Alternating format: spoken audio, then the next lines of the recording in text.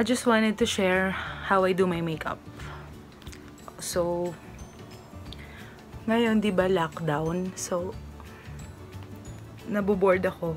Kaya gusto ko mag makeup tutorial sa inyo, guys. By the way, this is my first vlog. So, wala pa ako nilalagay sa face ko. Except, may konting lip tint. Grabe, kaliligo ko lang, oily agad. O, diba?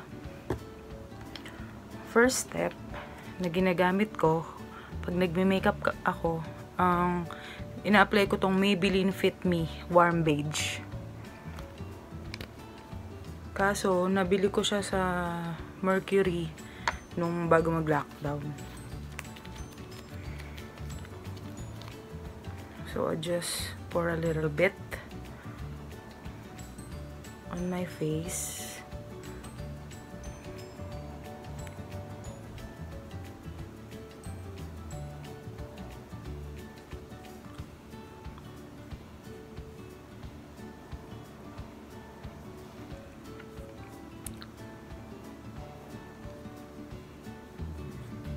Usually, fingertips lang yung ginagamit ko.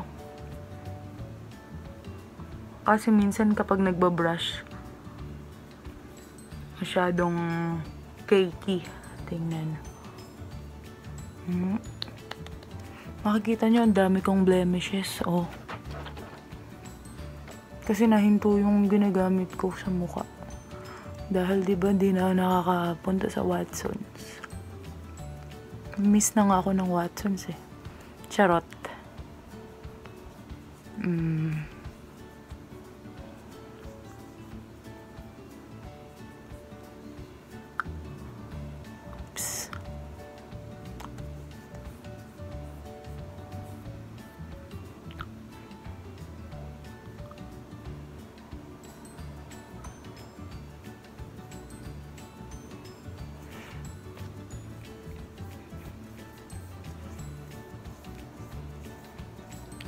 Ayan.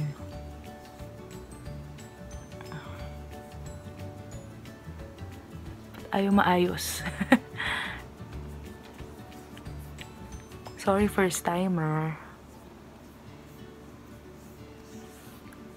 Next na nilalagay ko. Oh, okay na. Minsan pala, guys, gumagamit ako ng sponge. Ah, kapag trip ko, ganun. Pero madalas, kamay ko lang. Malinis sa may kamay ko, guys, ha. Next natin, concealer by Fashion 21. Ang shade ko dito, neutral. Kapag nagko-concealer ako, ito lang yung nilalagyan ko. Yung under eye.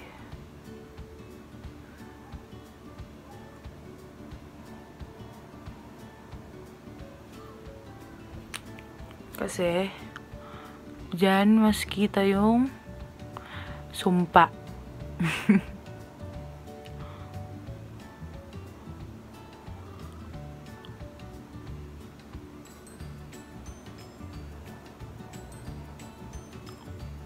Ayan.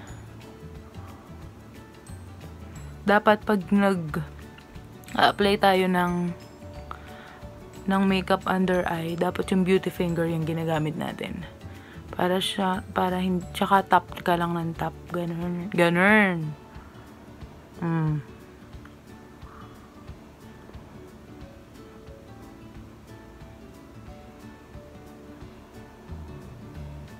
Tap ka lang ng tap hanggang sa maubos yung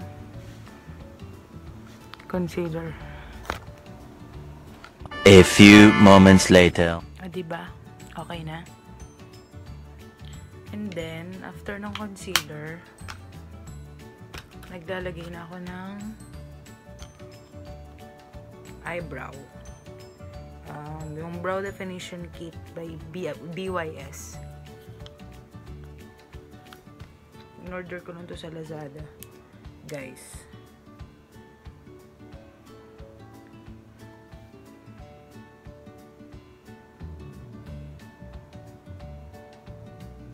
First, maglagay tayo ng wax. Para dumikit yung ating pangkilay.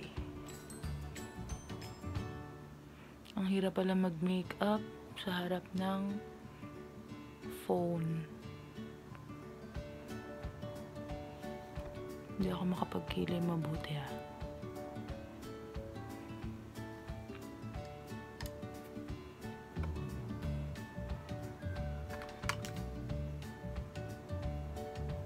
Balik ako guys pagkatapos na nung ko. 2,000 years later. Six and a half hours later. A few inches later. Day two, day three, day four. A few moments later. One eternity later. Three days later. Twelve seconds later. 328 a.m. Three weeks later. Many months later. So much later that the old narrator got tired of waiting and they had to hire a new one. Tomorrow. Tomorrow for sure. Eventually. Push ko na lang ng konti. To make it more presentable. Char.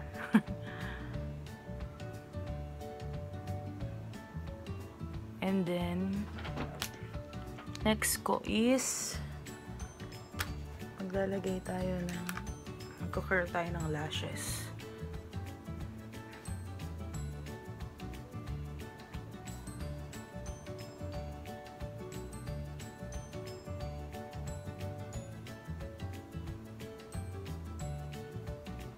Five, four, three, two, one.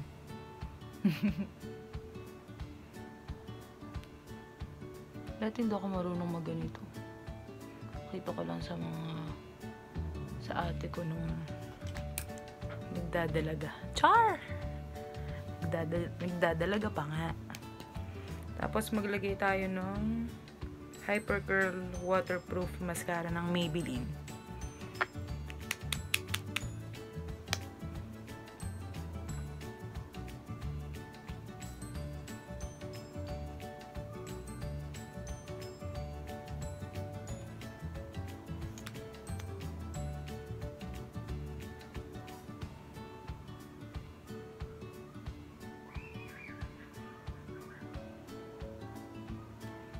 Wala, may... Maliyak ako. Tapos, mag-apply tayo ng ng konting eyeshadow from e.l.f. Mad for Matte eyeshadow palette. Hindi ko alam kung anong maganda.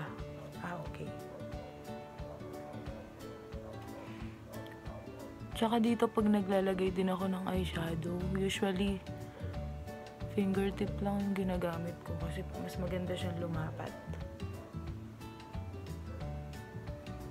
Kesa sa ano, brush.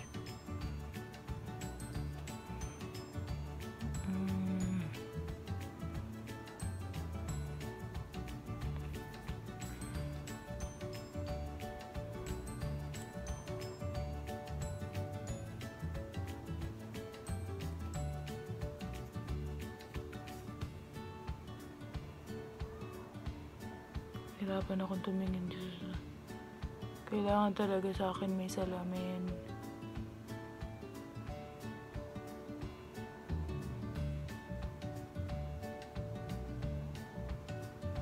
Yan. Konti lang. Tapos, maglagay na tayo ng lipstick.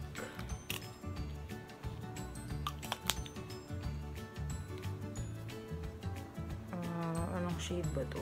Everbillion na din siya. Cruel Ruby. In the shade Cruel Ruby. Mahilig kasi ako sa red.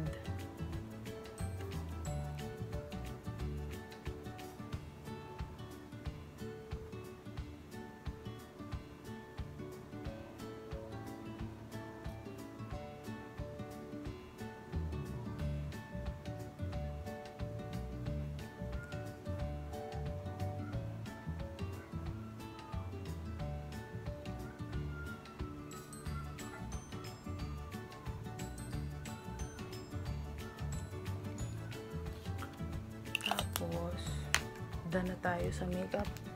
Ay, I mean sa lipstick. Pa-powder na tayo. Yung powder ko pala from Nichido. Alam ko mga 150 lang to eh.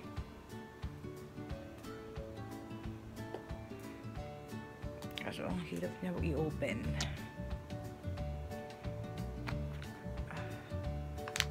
May kasama siyang puff. Kaso, hindi ko masyadong ginagamit yun. Usually, use brush.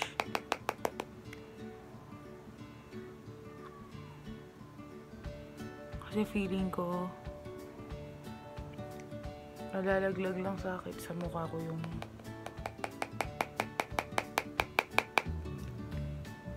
cream, yung puff. Cream puff.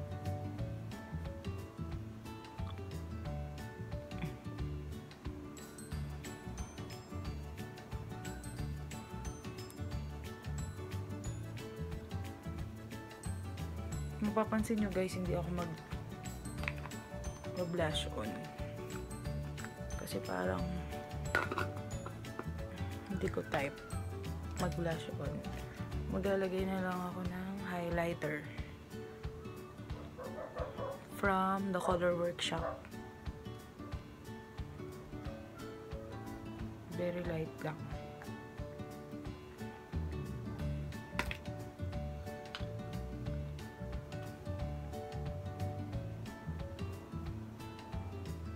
Para ma kitang mabuti yung ating brow bone.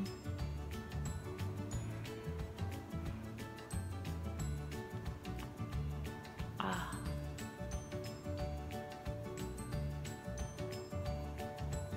Konti. At sa ating cheeks.